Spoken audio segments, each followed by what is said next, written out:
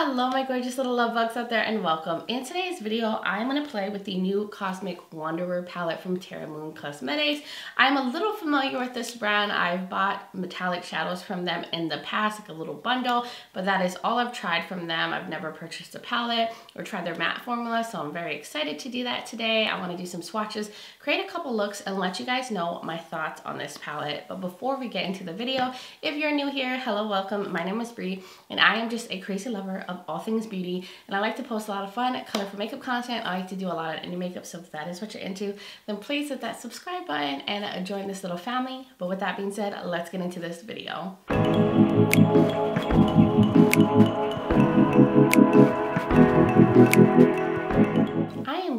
Excited to be revisiting Terra Moon Cosmetics. I really like the shimmers that I bought from them in the past. I have like this little bundle right here and they're really pretty. So I've always wanted to try more from the brand, but they haven't had releases that really pulled me in until now because I prefer like completed palettes instead of buying singles and they mainly do singles of like all different types of formulas dual chromes multi-chromes. I mean they all look stunning but knowing me i'm not one to go to singles as much as i would go for a completed palette. So i was excited that they were coming out with this. So i picked it up right when they launched and i think it looks really pretty. So let me give you guys all the details. Now Terra Moon Cosmetics is a indie brand.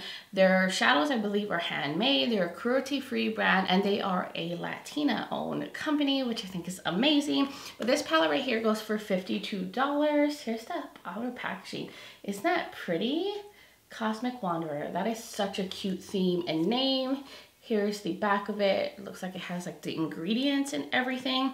And in here, there are 12 shades. So this one doesn't have a mirror, which is fine. It's better for the environment. It has like a little stain right here that says, wander into the beauty of the cosmos. Isn't that cute? And then here are the shades. They're so pretty, right? I love this color story. Now, the breakdown of the shadows in here is that there's five dual chrome shimmers, six mattes, one satin matte with sparkles.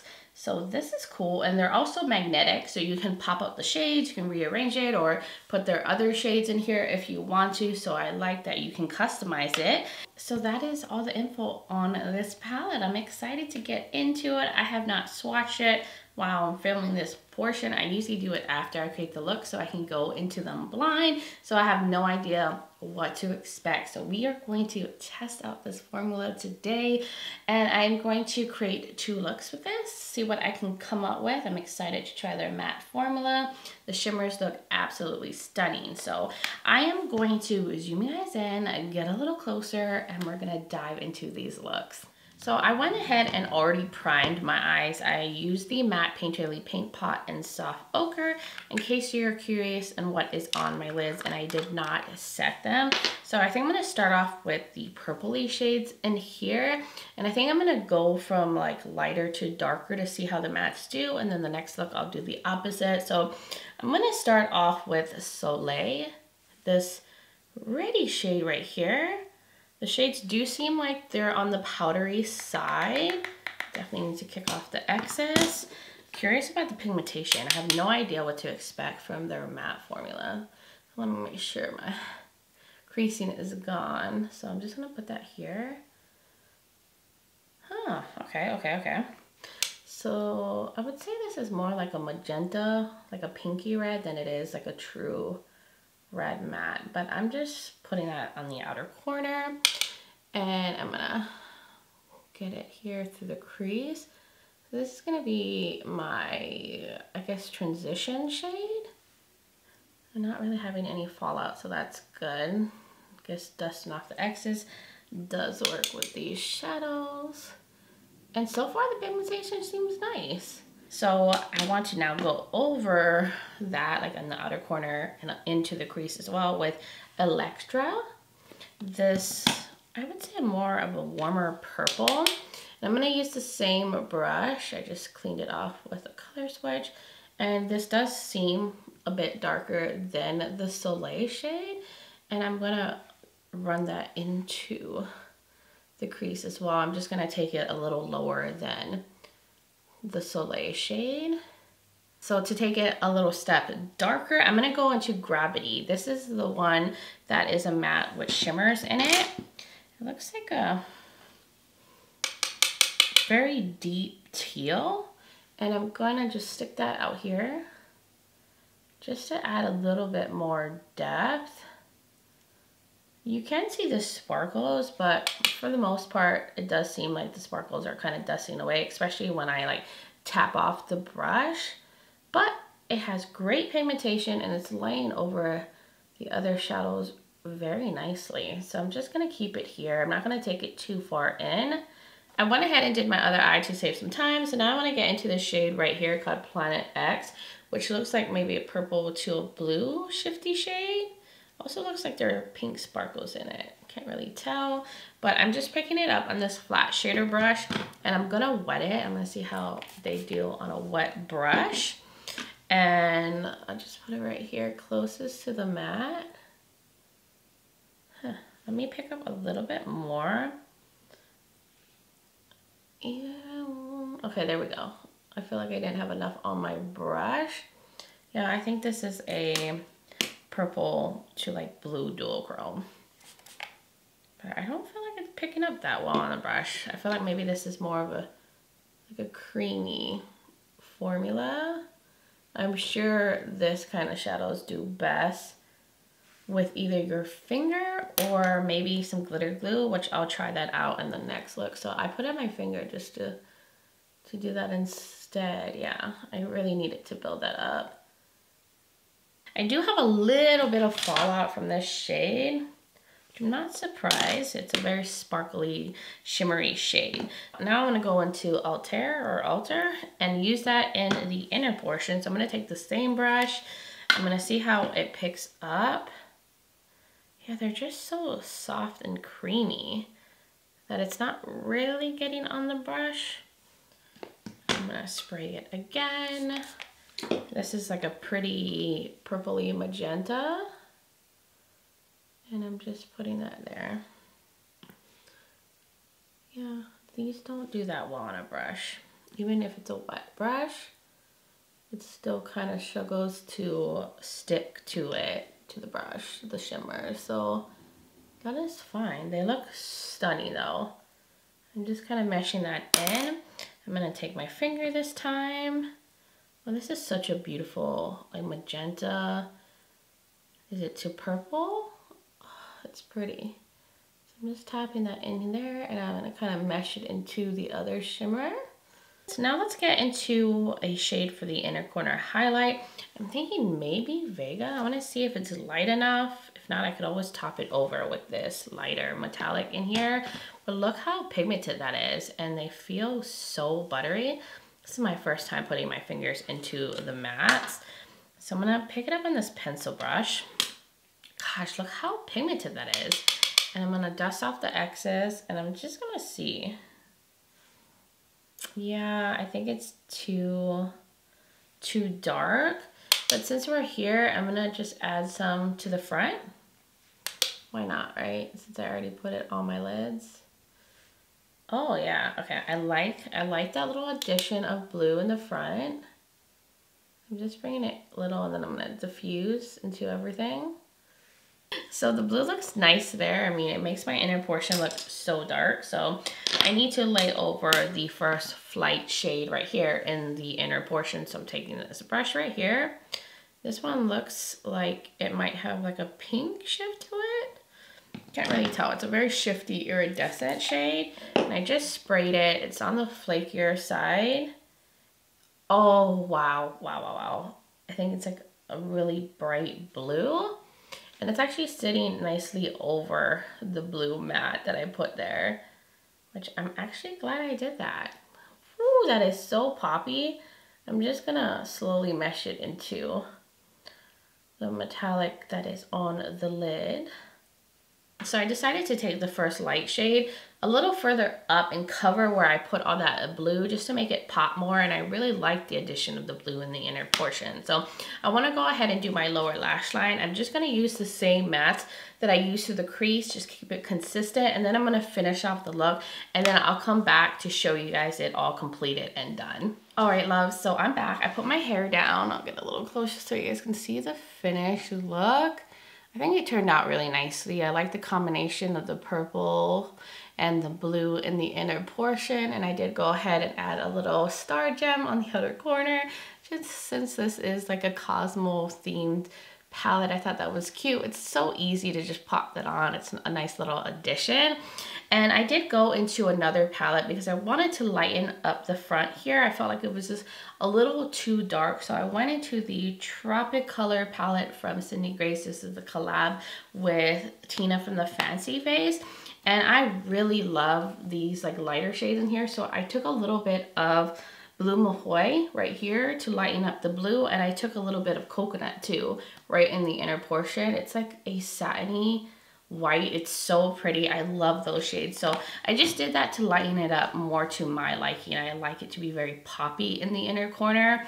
But what else I did off camera was I went in with the Huda Beauty liner to create a wing. I went in with the shade Exit from ColourPop, this liner in the waterline. And then for my lips, I have the ColourPop lip liner in, what is this, Lumiere? Do they still sell this? I don't even know. I've had it for so long. But then I went over that with the Kaleidos Lip Tonic in Immersion, which I don't think they sell these anymore. Or the last time I looked, they only had a red option, but I really love these. They're like super lightweight lippies. Like I just feel so good on the lips. And then for mascara, I'm using the Beauty For Real High Def Mascara, my go-to right now. And I think that's it. Yes, that is it for this look. I love how uh, dark and smoky, very jewel tone, very pretty. The shimmers are so sparkly. I'm really blown away so far. I'm, I'm really enjoying this palette. So I'm going to go off camera, take this look off, and get back into this palette so we can do one more look with it. All right, I'm back to get into the next look. So we're going to start off with the darkest shade this time. And I'm going to do more of a graphic shape with this look. So I do want to start off with Triangulum. I think that's how you say it. It's this dark blue matte and I'm going to take this little short brush right here and I'm just going to map the shape out on the outer corner and match it up to where my brow ends. Just going to go on lightly just to get the shape down first and then bring it up here. I have to make sure I take it above my hood because I, you know, do have hooded eyes. Yes, okay, liking that shape. So I'm gonna also take the same brush and I'm just gonna fill in the space. I'm gonna stamp it on. Usually shadows like this work really well if you just pack them on instead of like, you know, swiping back and forth with like a fluffy brush. So I'm just gonna keep it on the outer corner. Now I'm going to take this pencil brush from Farrah, I think this is, and I'm going to go into Chromosphere, this green matte, and I'm just going to uh, make a shape over here as well. I want it to look very precise and kind of like match up with the shape of the outer corner. And I'm also gonna fill in the space too. Make sure it does some fixes. I'm just trying to, you know, be as precise as possible. That's why I took such a little brush and I'm just filling out the space. So I think the shapes are pretty decent. I mean, they're not perfect, but my eyes don't totally match on each side. It's good enough in my opinion. So I wanna get into the shimmers now and I wanna use a glitter glue this time and see how the shimmers do. I think they're gonna do better with a glitter glue. Having a nice tacky base is gonna probably help. So I'm gonna go in with the Unearthly Glimmer Grass. I really like this. It is super similar to the NYX glitter primer. But I like both of them equally. So I'm just gonna lay that all in the center. All right, so now let's get into the shimmers. I wanna use two of them. So I think I wanna go into this one, which is more blue. It's called Pleiades. I think that's how you say the name. And then this one is called Aurora, which is more green. So I'm to take the green one in the inner portion, the blue one in the outer portion, and maybe tap this one in the center. But I'm using the brush that I put the glitter primer on. So it looks really pretty. And I'm going to put it right there. I think this is going to work. I think this might have a purple shift to it. Because I think these are all duochromes. Ooh, ooh, ooh, ooh, that's pretty. So I'm just going to take it like midway. I don't think I've ever done this before. I took two different shimmers in the center. Normally I just take one. Or usually I have like a different halo eye setup. So now I'm gonna clean this brush off. I'm gonna go into Aurora. Ooh, this is pretty. I think this is like a green to blue shifty shade. And I'm just gonna work that on the edge.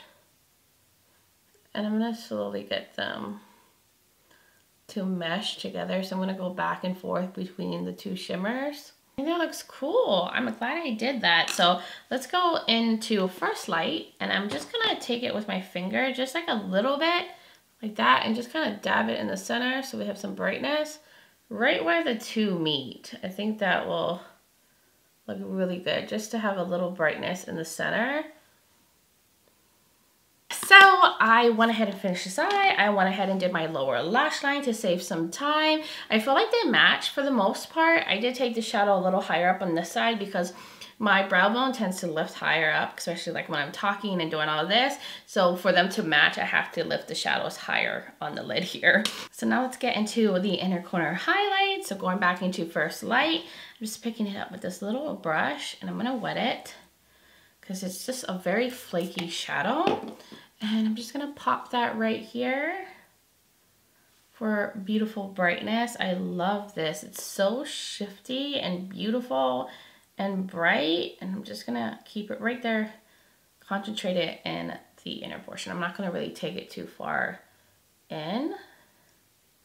All right, inner corner is popping. This is so pretty. Now I did get a little bit of shimmer fallout, so you definitely want to do your eye makeup first if you don't want to have shimmer specks on your cheeks, because even if you go in with a wet brush or a glitter primer, you're still going to get little shimmer specks because the shades are a little bit more flaky.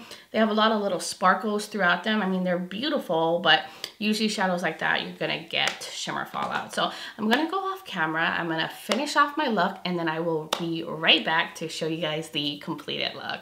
All right, I am back. Yes, I had to do a little extra on the eyes. I could not help myself, but I just wanted to do more. I love how this looks. It's so pretty. I like the mix of the green and the blue. And I had to do a liner. Like I just had to since it was more of a graphic shape. And of course, I can't help myself. I love putting gems in the inner portion. I feel like it just makes it look so special. So I have these little iridescent gems. They're from Amazon, but the liner that I use to create like this arch here and line on the edge here is from the Glisten Cosmetics Cake Liner palette. This is a collab with the Fairy Freak, and I use this minty shade right here. They're so good. They're amazing cake liners. And then for my lips, I wanted to keep it nude so we could keep the attention on the eyes. But I have the Luxe Liner from Juvia's Place in So Rare. And then I went over that with the Lethal Cosmetics Lipstick in Arrival. It's a cool tone nude. It looks so good with this look. And then for my waterline, I went in with the LA Girl Shockwave Liner and Fresh. And for liner and lashes, I have the Nakia Joy lashes on. And then I use the Kiss Lash Glue Liner to stick those lashes on. And that's it. That's it for this look. Of course, I used the uh, Beauty For Real High Def Mascara. And that is all I did off camera. I love this. Guys, I love this palette. Like everything performed amazing. So I am very happy with both of the looks. I'm loving it. So I'm to zoom you guys out and give you guys my like final first impressions on this palette. Just have to put this out there. I think indie brands are killing it right now with their releases. All of the indie brand palettes that I've tried recently have been amazing. And I think that this one is just as amazing. I'm so happy that Terra Moon finally came out with another curated palette. It's been a while and they usually release singles and I've been wanting to try like their matte formulas, their other shimmers, because I only have like one small little bundle from them, but I just didn't want to like go through the singles. It can be very expensive to buy singles as well. So I've been waiting for them to release a palette and they finally have and it is beautiful and amazing. And I feel like most people will prefer a curated palette because this is only $52 and you get to try a bunch of different shades from them and they're all so beautiful. The mattes in here are very pigmented. They're easy to work with and these shades are kind of hard to formulate but they did a good job with the formula. I was able to go from dark to light, light to dark with the mattes and had no issues. Now they are on the powdery side. You're gonna get a little kickback. You might have a little fallout. You definitely have to dust off the X's or do your eye makeup before you do your foundation. Don't be like me, which I like to do it the hard way, but that's just the life I live, okay? And then the shimmers are really beautiful. They're very shifty, extra dimensional, very sparkly, so you'll get shimmer fallout from them as well, no matter what you do, whether you use a wet brush, finger, or glitter primer, because they're just so intense, and I think it's worth it because they're just so pretty. But I think the best way to use these shimmers is to take a brush, go on with some glitter primer, and then use the brush that you put the glitter primer on with, and pick up the shadows. I think that does really well or using your finger because if you just go in with a brush, it's kind of hard to get these to pick up because I think they're just so creamy, a little flaky, so they don't really stick to like the bristles very well. Now I do feel like some of the shades in here are on the similar side. I wish that there was a little bit more variation like the Alara shade and the Chromosphere shade, they look very similar and I feel like once you blend them on the eyes, they're gonna blend out the same. I'll show you guys, like one is more teal, one's more green, but they're basically like the same tone. I just feel like they're gonna translate the same on the eyes. I do also feel like the Triangulum and the Gravity shade too is very similar. Now the Gravity shade has sparkles in it, but once you blend it, the sparkles kind of go away. But I'll show you, very, very similar. One's just a little bit more of a deep teal and one's a deep blue. But these also, I think, are going to end up looking the same in the eye. So I do wish maybe they had like a deep purple. That would have been nice. And maybe one more lighter shade, whether it would be a light metallic or a light matte, like a pastel shade would have been beautiful because I feel like the only shade you really have is this to use as the inner corner. Now, don't get me wrong, it's stunning, it's gorgeous, it's shifty, it's intense, but I would like at least one more inner corner highlight to work with. But of course, I can always pull from other palettes and get like a lighter shade from there. But I do think the color story is beautiful on trend. I think this is perfect for the like winter season, like the jewel tones and stuff are so pretty. So if you like jewel tones, you like these shades, I think you would really love this. You got a good range of light to deeper shades, mid-tones. I love like the color options that they put in here. I think it's amazing. You cannot go wrong with this. I definitely think it's worth it. And i'm happy that i picked it up and i hope that they keep coming out with palettes because if they do i'll probably keep buying them. But that was my thoughts on this palette. This was the looks that i came out with. You guys will have to let me know your thoughts in the comments below. Did you pick up this palette? Have you tried other things from terra moon? And what were your thoughts? I would love to hear from all y'all. And if you're new here and you enjoy enjoyed this video, you like a lot of fun and colorful makeup content, you like a lot of indie makeup and all that fun stuff, then please hit that subscribe button and join this little family. Also, don't forget to check out the description below. I will link the palette. I will link the rest of my makeup that I'm wearing. I will also link other videos of mine you might be interested in watching. I will also have my contact and my social media platforms. I'm also on Instagram as Bri C Lifestyle and Bri C underscore beauty. And I do post a lot of different content there as well. So if you want to check it out. I would really, really love that. But guys, thank you so much for taking the time to watch this video, for taking some time out of your day to hang out with me for a little bit. I really, really appreciate it. But I just hope you all are doing well wherever you are in the world. And I'm just sending you all so much light and love. But until next time, bye guys.